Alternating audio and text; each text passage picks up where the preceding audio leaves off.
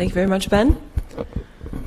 So um, I hear that we have some students here, some participators uh, ranging from high school students to world experts in signal processing. So um, everybody listen along at your own pace here, and if you have any questions, please do feel free to go ahead and raise your hand.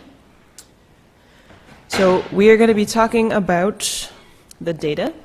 So we're going to run through what is in a data file, so you'll practice popping these open on your own. So we're going to go over what you'll find inside our open data files. Um, so in particular, we're going to go into what does our strain data look like. So as Dave mentioned, this is the time series of the space-time strain measurement that we make.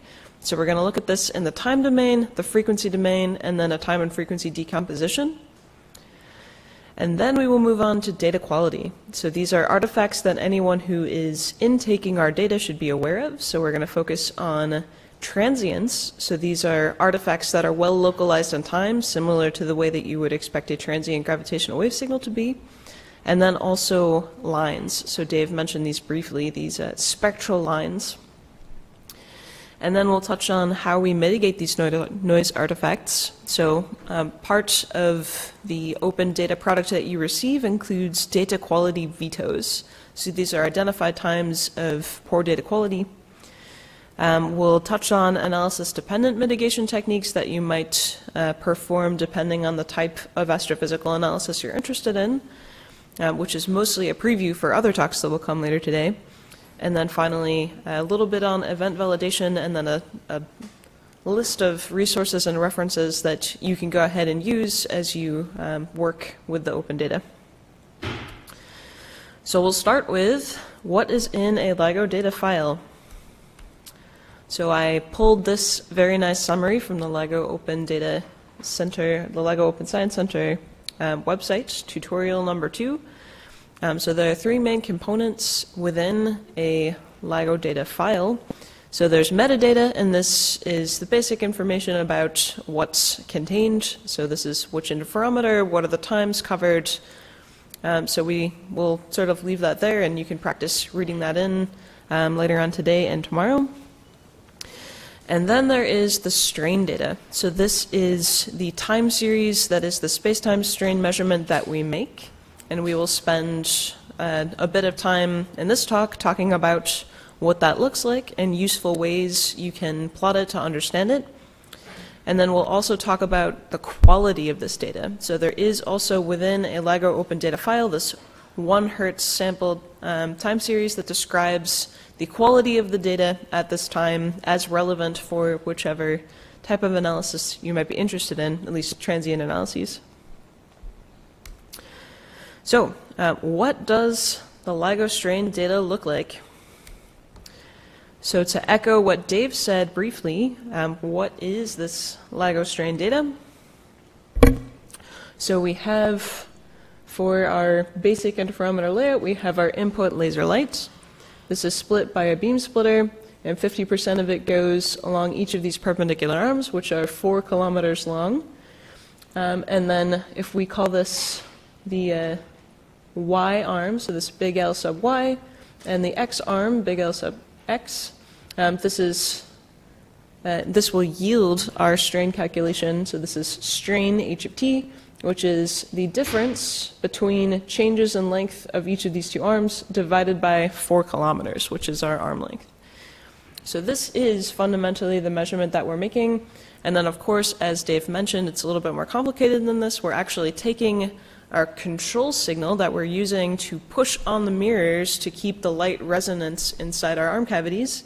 And then, as Alex mentioned, he's going to spend about half an hour telling you about how we calibrate that um, signal into units of strain. So that's what our signal is. Now, what does it look like? So this is um, a time series of LIGO Hanford data. So this is taken from the first observing run, which is now open to the public, and you'll be able to um, to play with this afternoon and tomorrow and the day after with tutorials. So what you're looking at is strain amplitude, and then versus seconds. And this is just the uh, the calibrated data that you can read in straight from the open data file. Um, so as Dave mentioned, the sampling rate for the LIGO detectors is about 16 kilohertz. Um, the open data files that I believe you'll be um, using or able to access today and in the near future are sampled at about 4 kilohertz. So this is the time series in the time domain. What does this look like in the frequency domain?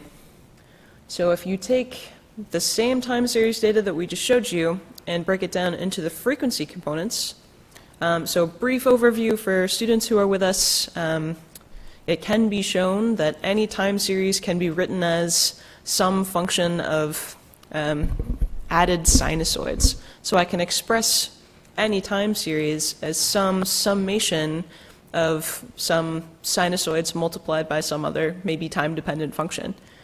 So this is what this plot is telling me is um, what the contribution at each frequency is to the time series that I just showed you. So this is uh, strain noise amplitude, and then this is frequency. So this has the same more or less shape as we saw from, uh, from Dave's talk earlier.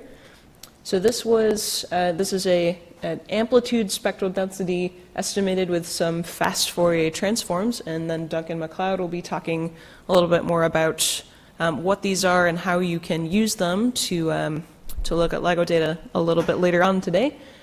Um, but we can notice that this um, amplitude spectral density of the same calibrated LIGO Hanford um, spacetime strain data has the same shape that Dave showed.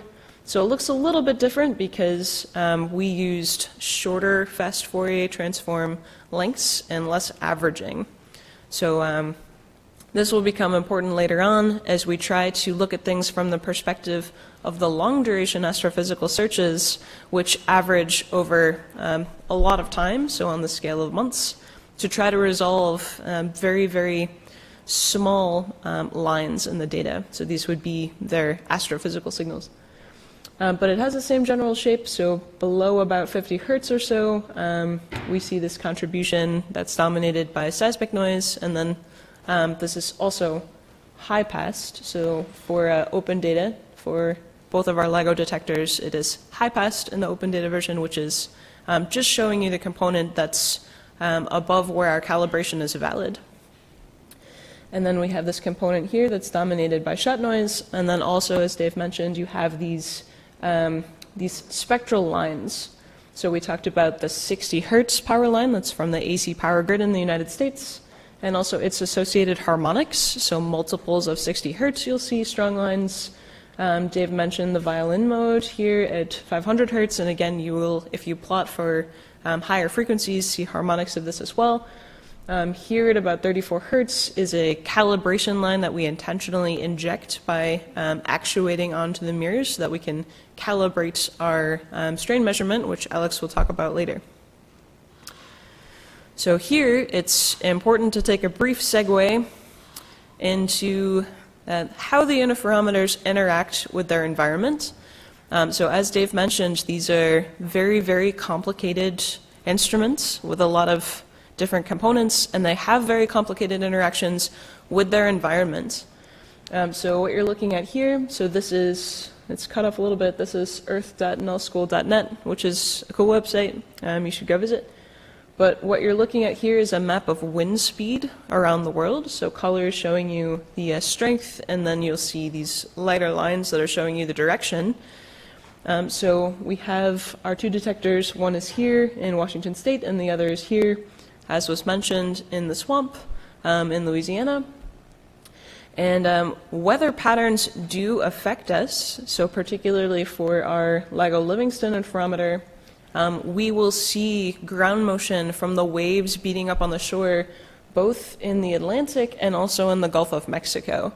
So when there's a storm off the shore, especially if the waves are aligned um, towards the detector as they're hitting the shore, so you can see this um, from the, the wind direction, then this shakes the ground, and this is microseismic noise that make it difficult for us to um, maintain light resonance. It makes it difficult for our control loops to be able um, to maintain the resonance of the light within the interferometers. And this costs us observing time when we're unable to maintain this light resonance. So this is gives you an idea of what the duty cycle is for a two detector network. So this is the two um, LIGO detectors. And it ends up being fairly similar to what you'd expect for an electromagnetic observatory, which, of course, this is driven by uh, the day night cycle and weather, clouds. Um, but for us, it's largely ground motion and wind. So anything that shakes the ground and couples into mechanically um, into the motion of our mirrors. Um, so this is publicly available information, the LIGO network duty factor for the first observing run. So this is the observing run that has been released um, in the form of open data. So we had about um, 42, 43% um, with our two detector network up. So the reason it's not higher than this is because one of the other detectors was uh, not taking data. Um, and then we had in single interferometer mode about a third of the time, and then uh, about 24% or a quarter of the time we didn't have any interferometer online. And just to give you a rough idea for each detector, how much time is spent in each configuration, um, so I, I, wanted to make sure I noted that this is a, a rough estimate that's based on um, human input accounting rather than this, auto, this nice automated state vector um, summary. But this is an operating mode overview. So green here, so this is time spent in observing mode. So for the Livingston detector during O1, this was about 60% or so. And then orange here, this is time that we had spent trying to lock the interferometer. And what I mean by lock is achieve this light resonance in the arms and all of the um, other optical cavities that Dave mentioned. Um, so brown here is interesting. So this is environmental time. So this is time we're unable to achieve um, resonance or lock um, due to environmental factors. So this is uh, earthquakes and uh, the ringing down of the ground motion after earthquakes, the ringing down of the ground motion, and also um, our instruments.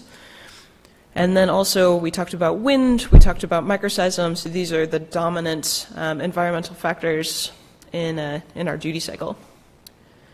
And now that we've talked about duty cycle, we can mention that these complicated environmental interactions as well as uh, detector behavior can also introduce these noise transients and artifacts into the data. So this is the same time series that we were looking at before. So this is just some calibrated data for about 20 seconds for LIGO Hanford during the first observing run. But now what happens if I take the same time series and then I apply the simple filter to it. So I'm selecting for just data um, between 10 and 200 hertz, and then I'm also notching out this very strong 60 hertz line. Um, what I get is that there appears to be some very uh, well localized high amplitude distortion in the data, right at about 11 seconds. So I might wonder to myself, what is this? And um, I can look in the frequency domain to help me figure out and see what's happening. So what you're seeing here, so this is the same um, filtered data that we were looking at before. So this is the calibrated LIGO Hanford H of T, so this gravitational wave strain data, with again this um, selecting for data between 10 and 200 hertz and uh, rejecting data at this very strong line of 60 hertz. Um, so what I'm going to show you is I'm going to take this rectangle and I'm going to um, slide it along in time. And thank you very much to Duncan MacLeod for um, helping make this plot with GWPy. Um, so I'm going to slide this rectangle along in time, and I'm going to use that to estimate the frequency content of the signal in this rectangle. So here below, I have this, um, this amplitude spectral density. So this is frequency versus uh, strain noise amplitude and then this orange line, this reference, is the same ASD that we were looking at before. And then um, in blue, plotted on top of it, this is the frequency spectral content just within this rectangle. So we're going to play this movie and see what happens.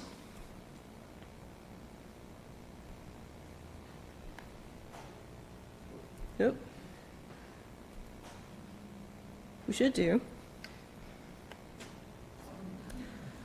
Oh no. Yeah, we, we unlocked it. Um, hmm. That's strange. I wonder if I pop out, maybe?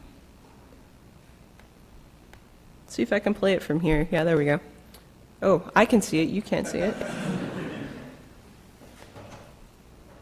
I shift this? Oh, there goes. Okay. Okay. We'll we'll work with that, and then I'll I'll pop back into uh, presenter mode. Okay, so um, what we're looking at here. So again, this is the time series, and I'm dragging this rectangle along in time. And now what you can see in blue is the spectral content that's contained, that's estimated to be within that rectangle that I'm sliding along in time. Um, and if I watch what's happening relative to that orange reference curve underneath, I can see that as my rectangle passes over whatever this distortion is, um, let's watch it again carefully, that I can see this excess signal content from about 200 to 10 hertz, which again was the motivation for selecting this particular bandpass filter. So um, if you would like to make this plot, um, you are very welcome to go to this link, so you should be able to access these slides. And um, this is made entirely with GWPy by with uh, open data frames, and you can follow along uh, with the instructions here. And thank you to Duncan for putting that together. Okay, let's see if we can play this. Excellent. Oh, well, pff, okay. There we go. So, um, this motivates a time and frequency decomposition. So what I can do is take that same data chunk. So this is a, this is unfiltered data, so this is calibrated H of t and this is a spectrogram that I've made using overlapping fast Fourier transforms. So what is a spectrogram? So this is the same 20 seconds that we've been looking at for this data series. And then um, this is the frequency content that's estimated per unit time. So what you can see is um, essentially different discrete rectangles. So I'm taking my data and I'm projecting it into time and frequency and I'm looking at how my, how my time and frequency content is changing as this um, time series evolves. So the color here, this is normalized amplitude. And how I calculate that is for each frequency bin, so for each row of these rectangles and frequency, I can make a histogram of the amplitude of my signal. I can find the median and then I can normalize each one of these rectangles by the median of that histogram. So I'm taking my data and I'm normalizing it to the median per each frequency bin. And then the color is going to tell me how much excess power, how much excess amplitude I have um, per unit time and per unit frequency. So um, we can see here now in, uh, in this time frequency projection that our data is actually um, showing distinct kind of arch-like features. And I can do even better if I'm a little bit more clever about how I am tiling this time and frequency space. So I can choose to use, instead of overlapping fast Fourier transforms, which give me these nice even rectangles, I can choose to use what's called the Q transform. Um, so what's happening here is instead of evenly spaced normal rectangles, um, I can project my data onto this train of sine Gaussians. Um, so the sine Gaussians are sort of tracing out the width of each one of my um, rectangular tiles in time, and then the frequency is um, governed by the frequency of the sinusoid. And then Q will also tell me how wide this tile will be in, um, in frequency. So this is my y-axis on my spectrogram. Um, so Q is useful. So we have here some representations of um, sine Gaussian tiles with the same frequency and varying Q. So for Q, some, this is called the quality factor um, in some physics and electrical engineering circles. Um, so for low Q, um, for this y-axis or uh, this delta frequency, so my um, how sort of tall my time frequency rectangle is, this will give me a a very well localized in time tile, but a much broader in frequency tile. Um, middle Q is sort of roughly equivalent, equal uh, in time and frequency. And then for a high Q, um, this will give me not a very well localized in time, but well localized in frequency tile. And the Q transform is um, particularly useful to us because it's more useful for us to have this um, well localized in frequency uh, tiling at lower frequencies and better localized in time at higher frequencies. So this is for this Q transform, so for my the central frequency of whatever rectangle um, I'm using to tile my space, um, I have this inverse relationship with how uh, tall my rectangle is. Um, so we can project this onto multiple planes in Q. So this is a Q plane. So this is the frequency, which is, again, um, oriented 90 degrees to the spectrogram we were just looking at. Um, and then my time axis. Um, so for increasing frequency, we can see how this shape is changing for constant Q and then I can make multiple Q planes. I can vary my Q, so this is sort of coming out um, at an angle from the screen, um, and I can tile up the same data in a different um, time frequency representation using a different Q. And this way, I can get multiple different um, rectangular tilings, and I can see which one best captures the excess power that I'm looking for. So we're about to see an example. So what you're looking at here, so this is, a, again, the same normalized spectrogram in frequency versus time. And now this is the Q transform result. So this is frequency versus time, but we see now that we've made this choice to get a better frequency resolution at lower frequencies and better time resolution at higher frequencies, we, and there's also some interpolation that's happening here that's not shown in the plot above, we can start to resolve um, the shapes of these features much better. So this is also particularly helpful for when you're looking for chirp signals. So you'll see the, you will have seen a characteristic time frequency um, evolution that looks something like this for uh, two compact objects that are inspiraling and merging. Um, so the Q transform, if you're just looking for the generic power of these signals, is also a very useful transform. And you'll practice using this a little bit later on. So the Q-transform is our favored way to look for transient artifacts and transient noise. And there are public options available. So what you can do is go to qscan.ligo.org. You don't need to log in. You don't need to know any programming whatsoever. You can just put in a GPS time, and then it will spit back out a result that has been Q-transformed. So what I did was I put in this GPS time. So this is the GPS time of the example we were just looking at.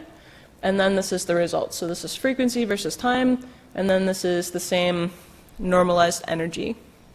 So um, this is JET, the JET color scheme, which is perhaps not as colorblind friendly. but um, we'll, uh, we'll work with the developers at MIT, um, who's Satya Mohapatra. And um, hopefully we'll get that a little bit better. Also, I wanted to advertise coming soon, we will have LIGO Data Viewer Web. So this is a GUI interface that we already have available to internal um, LIGO data analysts. And it will support time series, some minimal filtering of the time series, um, generating uh, power spectral density and amplitude spectral density plots, spectrograms that we were just working with, the Q transform that we were just working with, and also um, other simple plots like band limited root mean square to look at how the power is changing over time.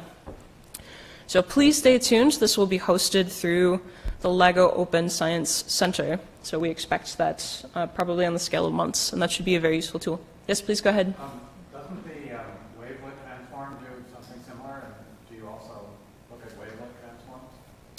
So the question is, do we also look at wavelet transforms so we, we do um, as a collaboration. So I think of sine Gaussians as a sort of wavelet. Um, but we have sort of these generic uh, coherent gravitational wave searches that do use Meyer wavelets. So this is coherent wave burst, which is our flagship um, gravitational wave search for unmodeled sources. And then um, we also have BayesWave, which is a Bayesian version that uses more like Gabor wavelets. So sine Gaussians are a nice choice because it's sort of the um, minimal number of wavelets that you would need to collect the most power. It's a non-orthogonal basis, and it's a fine choice for us here.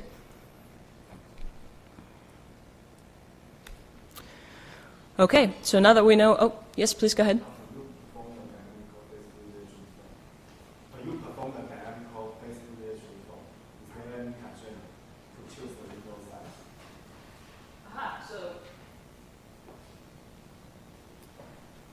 Getting back to my microphone. The question is, when we do this dynamical Fourier transform, is there any concern about the window size?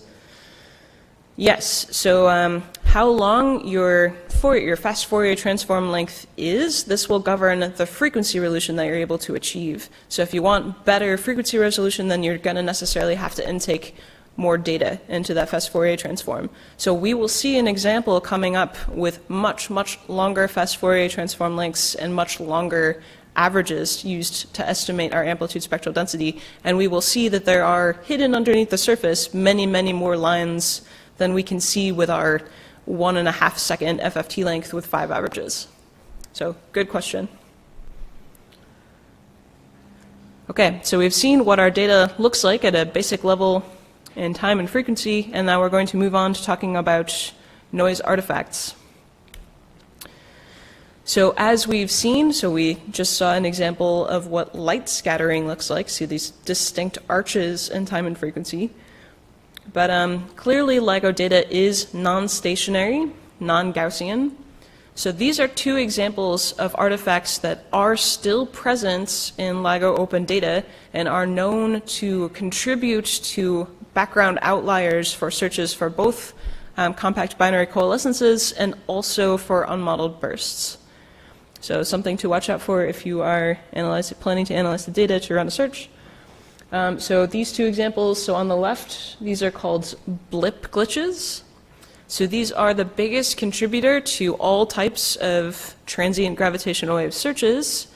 Um, so they are seen in both detectors and were during the first observing run, so both in LIGO Livingston and LIGO Hanford at about a rate of once per hour to give you an idea of how often they appear.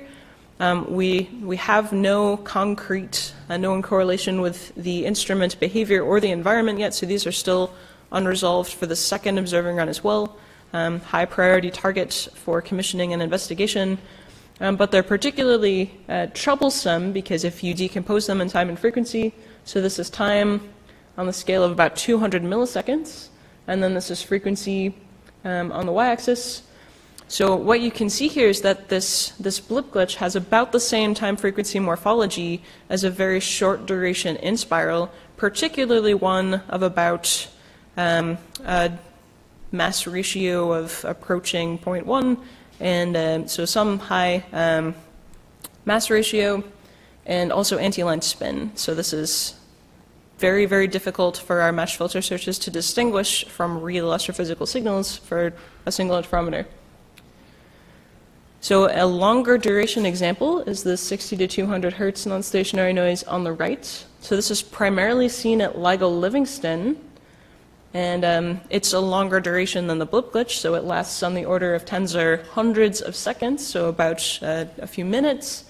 Um, it's a major contributor to the transient search backgrounds, and it's seen in, a, in a storms of about, so these each last about a few minutes, and then we'll see uh, many of them in about an hour, hour or two long stretch, um, roughly once every few weeks to give you an idea of how often they occur. And uh, this is an overview of the menagerie of uh, common glitch types we have in both of our interferometers, and you can learn more with this public tool, um, Gravity Spy, and it's described in this paper by Mike Zevin et al. that was published last year. So if you go to gravityspy.org, so this is a citizen science effort where we've enlisted um, members of the public to help us to classify our common glitch um, types into these known categories. Um, so we, of course, would welcome the help if you're interested in helping us to classify these glitch types, um, but you will see available to you this list of uh, common glitch types with some nice Q-scan, Q-transform representations of what they look like in the data. So there's about 20 types here, and they, they cover a lot of the most common glitch types that were seen in the first observing run. So this is a good resource for people who want to learn more about the types of glitches that are in the data. So next is combs. So we had a great question um, about what happens when you use different uh, time duration to estimate your power spectral density. Um, so this is a plot that's taken from this recent paper by Pep Covas that was just published um, uh, late 2017. Um, and this paper was used to generate this uh, catalog of instrumental lines. So, for anyone who's interested in analyzing the data, this is an excellent reference for what instrumental lines are present in the data. So, this is for both LIGO Hanford and LIGO Livingston, and it's hosted on the LIGO Open Science Center. So, um, this is a great resource for you as well. Um, but as we briefly touched on before, so what we're looking at here, now instead of taking um, averages of about a total of um, five or so seconds with one and a half second Fourier transform, uh, fast Fourier transform lengths, we now have uh, over 7,000 second long averaging with uh, fast Fourier transform lengths that are on the order of hundreds of seconds. So now you can start to see appearing uh, much more prominently these fainter lines and combs. So combs are what we call lines that repeat at some integer um, frequency. So what we're seeing down here, so this is for LIGO Hanford for the first observing run. And uh, what you're seeing here below about a few hundred hertz is this one to two hertz comb series. So the, the comb that's appearing about a hertz and at intervals of half a hertz has to do with blinking LEDs. So we have a timing system that we use to imprint GPS times onto our, our network of detectors. And this timing system, to indicate that it's working correctly, has an LED that blinks at once per second. And um, the, uh, the changing electromagnetic field at once per second was responsible for a lot of these lines you see here, which was um, mitigated to some degree for the next observing run, which we haven't released the data for yet. Um, but there are other examples of lines and combs that we've mitigated that are described um, completely in this paper. So if you're interested in longer duration searches or spectral features, please do um, go check that out. So now we are going to discuss um, ways which we can mitigate these noise artifacts that we've identified. So we do have data quality information available via the LIGO Open Science Center. So as we mentioned earlier, this is part, this is uh, one of the three major pieces of a, uh, a LIGO data file. So what's contained within that LIGO data file um, are a series of uh, data quality information and then also injection information. Um, so let's do the top first. So these data quality bits will tell you um, is there data present, and then we have uh, two different transient search types of data quality indicated. So CBC is the compact binary coalescence search, in categories 1 to 3, which we'll talk about in a minute. And then we also have independently defined um, categories for burst searches, which are unmodeled generic um, gravitational wave searches.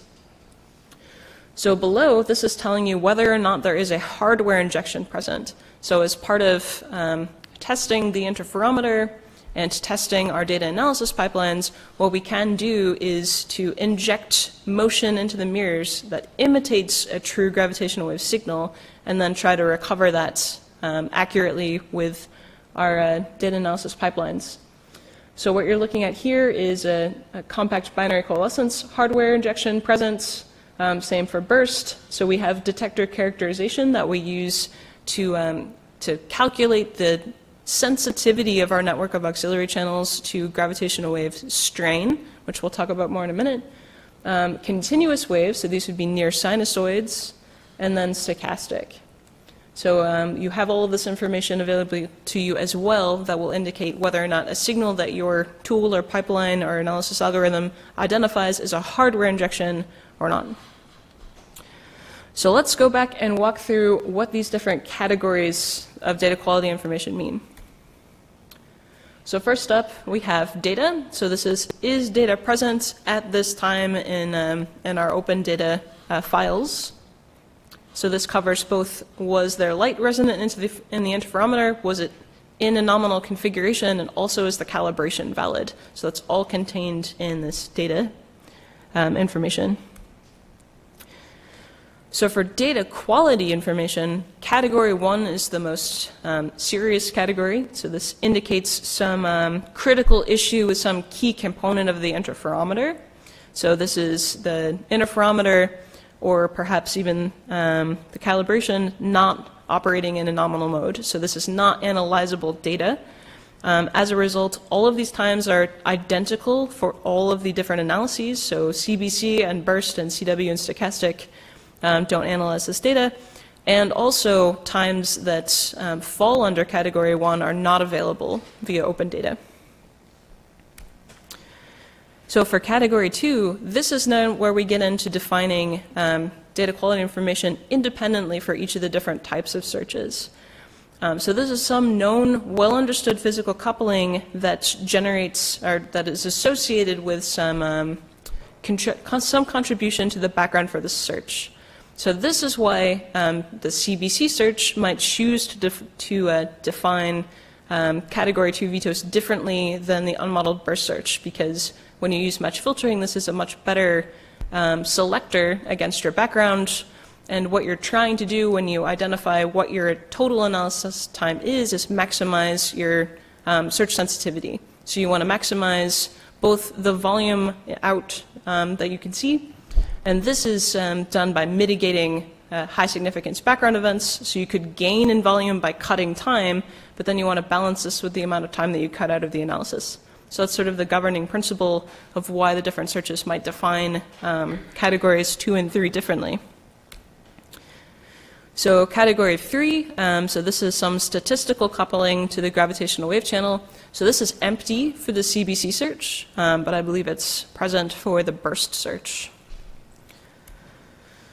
So um, data quality levels are cumulative. So um, something that fails category one will then automatically um, fail categories two and three.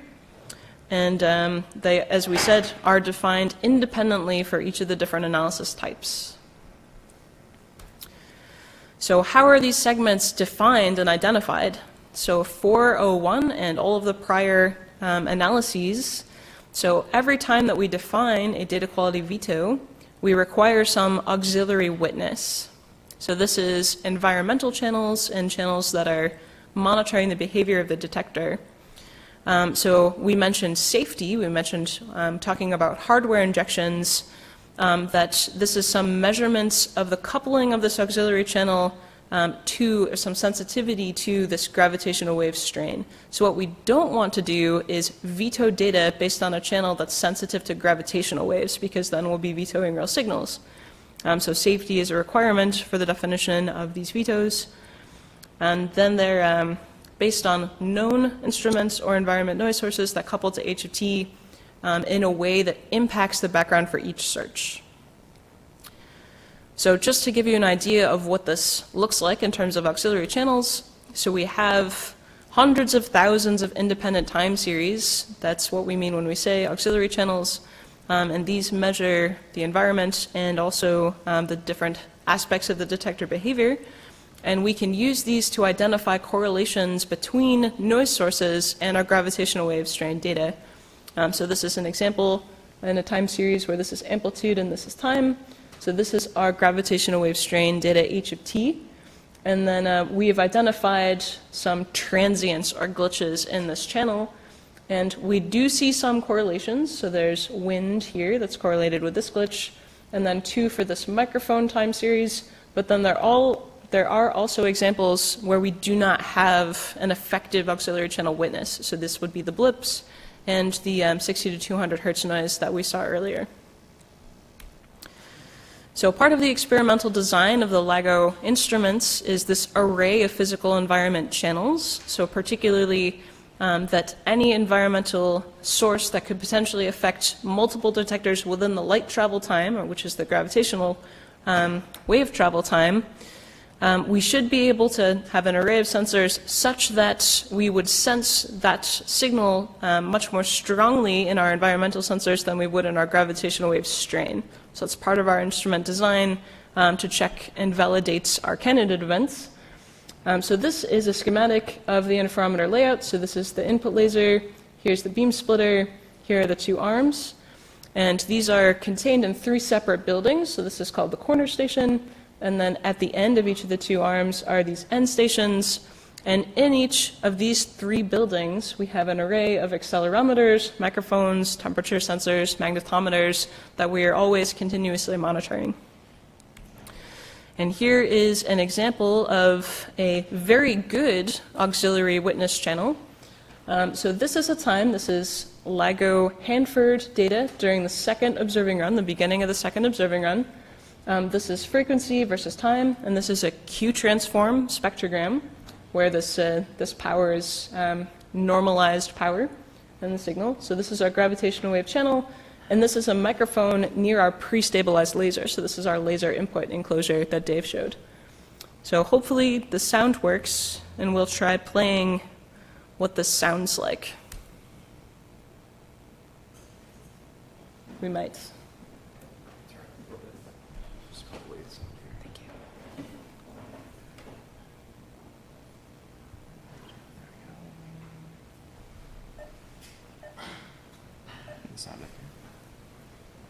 There we go.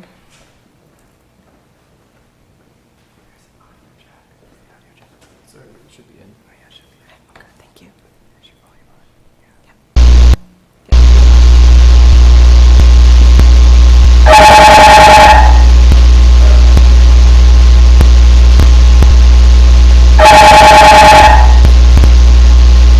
So um, that's that's a real thing that happened in the beginning of the second observing run. So this data is not yet released.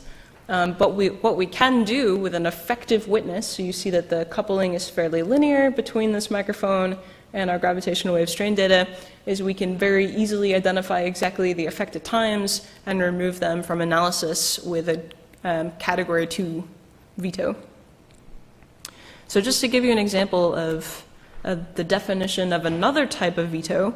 So this was a uh, data quality veto that was category one and responsible for most of the, uh, the time lost to vetoing um, in the first observing run. So this is for the LIGO Hanford detector. Um, so what you're looking at is this root mean square amplitude of um, the signal for a 45 megahertz modulation. So um, as Dave was saying, we have multiple independent um, optical cavities so this is a light modulation introduced to the laser light to control the output cavity. So this is the signal recycling cavity um, that the light enters as it exits the uh, beam splitter towards the photodiode readout.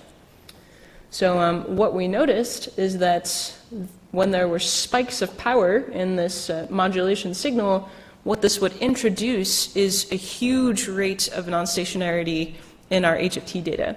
So what you're looking at down here, so this is frequency versus time and hours of our gravitational wave strain data at LIGO Hanford.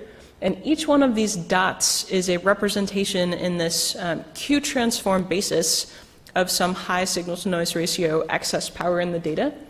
Um, so dots that are darker in color are louder.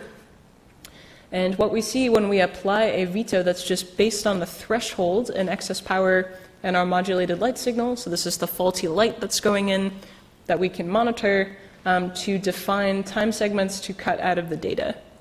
So this is responsible for something on the order of 5 or 6% dead time in the first observing run. But this does buy us um, an improvement in significance of events. So Alex Nitz is going to talk much more about calculating uh, event significance and what the uh, detection statistic is for um, our CBC searches. But what you're looking at here, so this is um, the signal to noise ratio uh, that's network reweighted. So this is our detection statistic, and this is the value for a real gravitational wave event.